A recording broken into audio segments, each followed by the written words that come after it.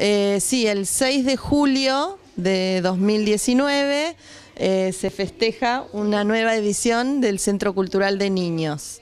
Y bueno, están convocados más de 60 talleristas, que bueno, este año fue a convocatoria y fue una sorpresa grande recibir eh, tanto, tantas eh, propuestas de, de, las, de los talleres locales que se desarrollan en la ciudad. Así que bueno. ¿Y la organización cómo, cómo viene? Bien, este, la verdad que nos fue sorpresivo tanta cantidad. Estábamos preparando el programa y es como que día a día uno se va sorprendiendo de todas las cosas que hay para la niñez en Necochea.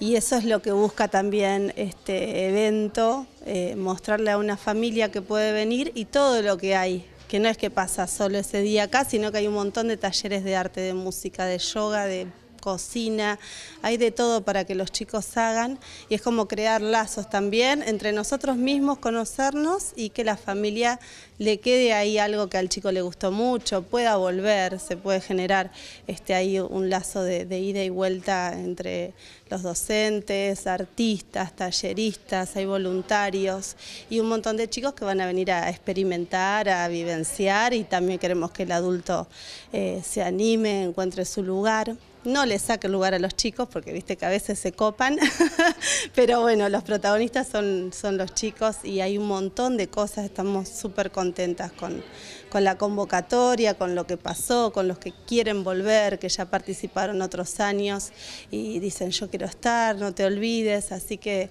muy agradecidas con todos ellos, hay 60 propuestas este año que van a estar todo el tiempo, todas juntas, o sea que la organización nos lleva bastante para que esto se genere lo mejor posible y bueno, son este, varias horas de niñez total.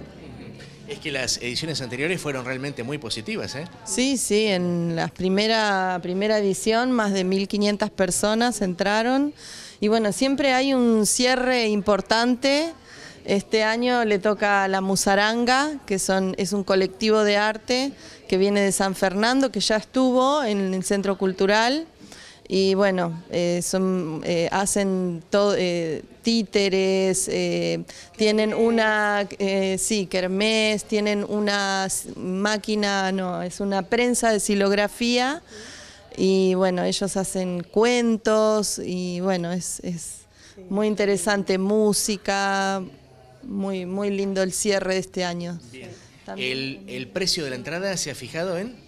80 las anticipadas y 100 en la puerta. El, el mismo precio se eh, mantiene del año pasado.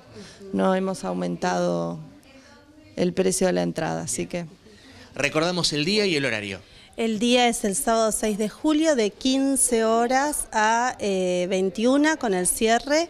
Eh, y bueno, para destacar por ahí que hay muchos necochenses que conocen, va a estar el artista Emilio Ferrero, que viene también desde Buenos Aires, va a estar presentando su libro, dibujando para los chicos, eh, va a estar, hay muchas cosas nuevas, pero también va a estar la gente de, eh, de volei, de mm, la Escuela Municipal de Volei, mini volei, en la calle, porque ese día se corta la calle, va a estar la banda municipal, va a estar básquet del Club Rivadavia,